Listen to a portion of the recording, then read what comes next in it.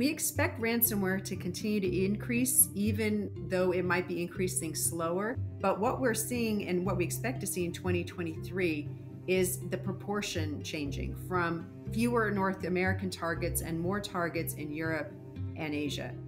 In 2023, we anticipate seeing a higher frequency of incidents affecting OT and the overall risk to industrial systems and critical infrastructure increasing.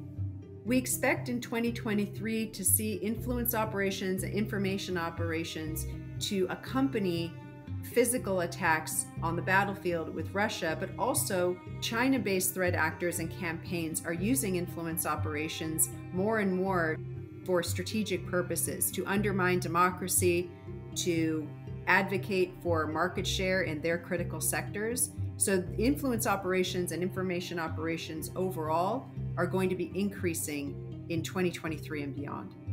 When we're talking about threat actors in the cyber domain, we often refer to the big four, and that means Russia, Iran, China, and North Korea.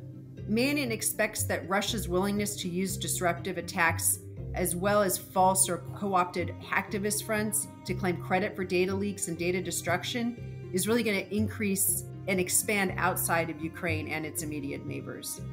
In 2023, we anticipate that cyber espionage and information operations activity will support China's national security and economic interests, and that this will continue to escalate.